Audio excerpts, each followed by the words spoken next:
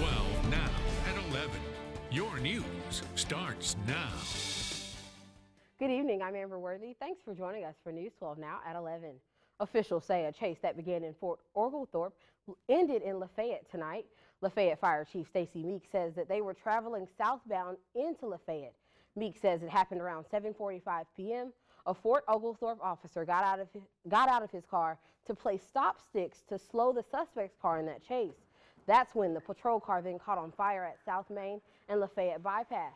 The cause of the fire is unknown, but that officer was not injured. The suspect crashed into the yard of Harbors Light Baptist Church on Crane Street. The suspect is in custody and charges are pending in multiple jurisdictions. We are working to find out what happened leading up to that crash. Chattanooga police are investigating a shooting on West 14th Street. A juvenile sustained a non-life-threatening gunshot wound around 6.30 this morning. Chattanooga police say the preliminary investigation determined that the person that was shot was committing an aggravated assault with a firearm against another person. Police say that's when third party witnessed the assault and fired their own gun to stop the assault. Charges are pending against the person who police say was committing that aggravated assault. At the time, charges are not filed against that witness. Agencies across the country participated in the nationwide prescription drug take back initiative today. Hundreds of people brought their unwanted and unused medications to 14 locations across Hamilton County. This location was at the Walgreens on Highway 153 in Hixson and was one of the handful that had a shredder on site so that you could shred those sensitive documents. In Bradley County, the sheriff's office reported they collected a total of 109 pounds of medications. They hosted this event with the Walgreens and the Grab Coalition. That stands for Going Respectfully Against Addictive Behaviors. These agencies participated in this event to prevent pill abuse and theft. Tensions were high in Shelbyville this morning with both the TBI and local law enforcement in place early in anticipation of competing protests. Forrest Sanders has a recap of today's events. Murfreesboro has felt this quiet and this empty most of the day except for the square, something that we've seen all over town been these uh, free speech zone signs that have all the things that people were not allowed to bring inside.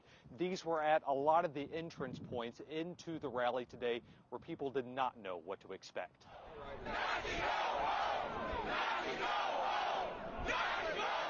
The group of counter protesters grew on the Murfreesboro Square, separated by police and two fences for the white nationalists. Only 10 to 15 appeared here at one time. Pretty much they didn't come.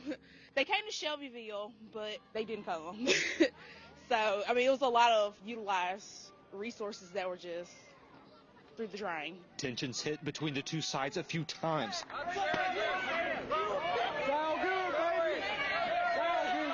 The police were quick to step in. At other points, it was nearly quiet with the call music from the shops playing on the square. After a few hours, white nationalist group members left. Counter-protesters were split in their feelings about so few showing up after so much effort to protect Murfreesboro. They closed everything and canceled everything around Murfreesboro today, so it was kind of pointless in the end. I think the fact that they shut it down, I think it was good because they were anticipating. I think it won't really have that much of a long-term effect because Murfreesboro is a city that would like to bounce back after like things that happen. I'm not going to say that I'm happy or that I'm disappointed because very rarely is peace this convenient. So here's how this played out. We saw one group of white nationalists on the square until about 2.30, another group that stayed until about 3. At that point, we didn't see any at all on the square. In Murfreesboro, I'm Forrest Sanders, News 4. A state lawmaker says Georgia legislature needs to come up with a statewide framework for how Airbnb and other short-term rental services will operate.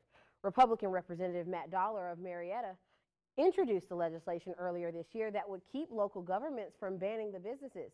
The Atlanta Journal-Constitution reports that Savannah has already had placed restrictions for these short-term rentals, which the city def defines as renting a home for less than 30 days at a time. Savannah's regulations include, among other things, allowing these rentals in certain parts of the city and ensuring that no more than 20% of homes in areas such as the historic district are available for rent at a time. As written, Dollar's legislation would repeal the laws Savannah has in place. There is intense speculation tonight after it was revealed yesterday that a grand jury has agreed to criminal charges in connection with special counsel Robert Mueller's investigation. CBS correspondent Wendy Gillette has the latest. CBS News has confirmed the federal grand jury hearing evidence pertaining to special counsel Robert Mueller's investigation has approved the first criminal charges. Mueller is investigating alleged meddling by Russia in the 2016 U.S. presidential election and whether anyone connected to the Trump administration colluded with the Russian government. A federal judge ordered the indictment to be sealed. What I suspect, uh, given that the investigation appears to be ongoing, is that Mueller has decided to indict certain individuals in the hope that they will, what we call flip. In other words, that they'll agree to cooperate with the investigation. Renato Mariotti says the most obvious potential targets are former National Security Advisor Michael Flynn and President Trump's former campaign manager, Paul Manafort, whose Virginia home was raided by the FBI in July. President Trump has denied any wrongdoing and has called the investigation a witch hunt. Russia has also denied the allegations that it interfered in the election. Former Trump campaign manager Corey Lewandowski downplayed the significance of the charges Saturday on Fox News Channel. The speculation is so insane right now. What we should be focusing on are the continued lies of the Clinton administration, the continued fallacies that they perpetuate. The indictment is expected to become public as early as Monday, when whoever is facing charges could be taken into custody. Wendy Gillette, CBS News. The Statue of Liberty in New York has turned 131 today. The official Twitter for the statue posted that, quote, 131 years ago, a copper statue was dedicated in the spirit of hashtag Franco-American friendship and democracy. Happy birthday to our one and only. A local comic book store gave out free comics today for National Halloween Comic Fest. EBCO's Comics, Cards, Games in Hixson participated in by opening an hour early for their fans. Hundreds of comics were passed out today, both old and new. The comic store is located on